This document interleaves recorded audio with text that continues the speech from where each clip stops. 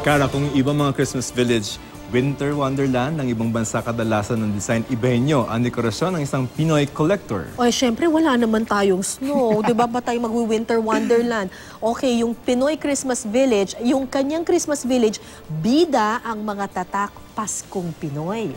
Meron diyang simbahan, syempre, giant Christmas tree, mga bahay kubo, at Ferris wheel na gawa sa kahoy. Ang cute naman. Taong 2008 daw nagsimula ang koleksyon na iyan ni Andy Matula. At nitong 2017, itinayo niya ang grupong Philippine Christmas Village Collectors Club.